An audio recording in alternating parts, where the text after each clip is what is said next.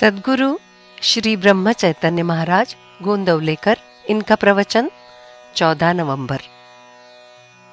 गृहस्थी भगवान की मानकर करें। ये जो सारा संसार दिखाई देता है, इसका कोई नियंत्रण करने वाला है। क्या तुम्हें ऐसा लगता है? किसी नास्तिक से पूछने पर कि ये संसार किसने बनाया तो वो क्या कहेगा? यही कि पाँच भौतिक तत्वों से ही इस संसार की उत्पत्ति हुई है। किंतु फिर ये तत्व भी आखिर किसने बनाए? इस पर वो कहेगा कि वो कुछ समझ में नहीं आता। लेकिन जो समझ में नहीं आता, उसका भी आखिर कोई ना कोई करता तो होना ही चाहिए। इसलिए भगवान नहीं है, ऐसा कोई कह नहीं सकता। जहाँ आज बस्ती नहीं है, वहाँ भी हम मंदिर बने हुए देखते हैं। और उन मंदिरों को किसने बनाया? इस बात की खोज करने जाएँ तो हमें चाहे उनके बनाने वाले का पता न चले, किंतु जब वे मंदिर वहाँ मौजूद है तो उनको बनाने वाला कोई न कोई तो ज़रूर होगा ही।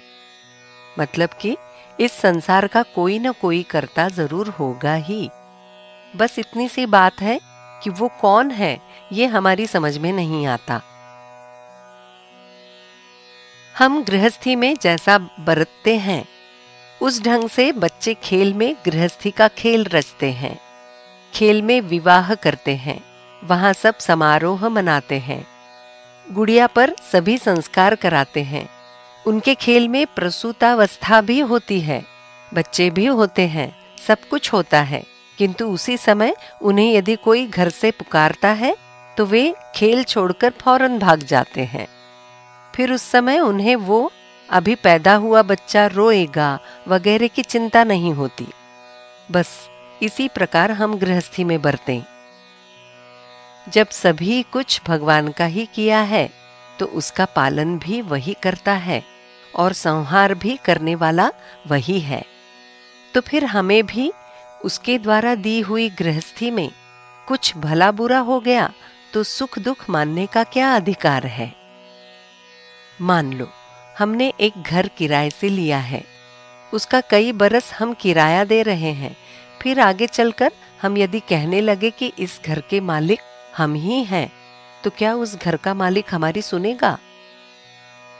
वो किसी न किसी तरीके से हमें घर से निकाल ही देगा या नहीं? वैसा ही हमारी गृहस्थी में हो गया है। जो गृहस्थी हमें भगवान ने किराए से दी थी, वो हम अपनी मानकर पकड़कर बैठे हैं। किंतु जब वो चाहे, तब हमें घर से अर्थात गृहस्थी से हटा सकता है। फिर हम उसे अपनी क्यों समझ रहे हैं? अर्थात गृहस्थी उसकी है, ऐसा समझकर व्यवहार करें। और जब वो ये लेने आएगा, तब उसे लौटाने की तैयारी रखें। ऐसा करने पर गृहस्थी में सुख दुख की बाधा नहीं होती। हम भजन में जाते हैं, तब गृहस्थी कैसी सफल होगी, इसकी चिंता न करें। भजन में लीन होने पर यदि संत तुकाराम जैसी परिस्थिति हुई तो उसमें बुरा क्या है? मानो कि वैसा नहीं हुआ तो गृहस्थी तो चल ही रही है। गृहस्थी में रोते रहने की अपेक्षा राम नाम लेकर आनंद में रहें। कुछ दिन तो राम पर पूरा भरोसा डालकर रहने का अनुभव लो। मन निश्चय ही चिंता मुक्त होगा। पूर्ण निष्ठा पैदा होगी। ये पूर्ण विश्व और गृहस्थी ईश्वर की है। गृहस्थी जिसकी है, उसे दे दें और हम मुक्त हो जाएँ।